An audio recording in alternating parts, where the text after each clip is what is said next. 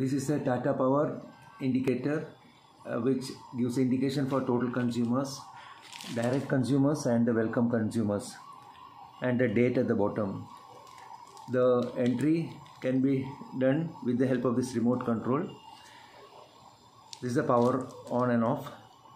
To start the entry press this mute button. The first digit on the first row flashes. Enter the digits as desired.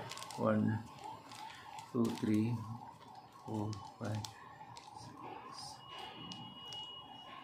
if you want to go directly to uh, uh, to the bottom line you can press this down arrow.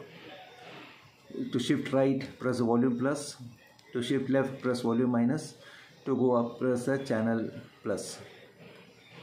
Once all the setting is done press the mute button again and the flashing stops the to set the date press is t, uh, timer button.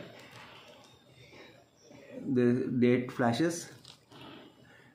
The lower six buttons are used to set there this is uh, uh, the color plus minus will control the date.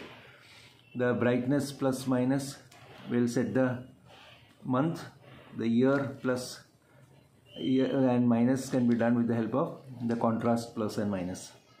Once the setting is done press the timer button again to stop flashing. The clock can be displayed by pressing SFX and the time can be set in 24 hour mode by again by pressing the the lower these four buttons. Press the TV AV to go to set mode. Press the uh, the brightness plus or minus to set the hours. The uh, and this for setting the minutes. Once the setting is done press the TVAV button to stop flashing. You can even keep it in the clock mode as displayed or you can go back to the welcome consumer mode. by pressing SFX thank you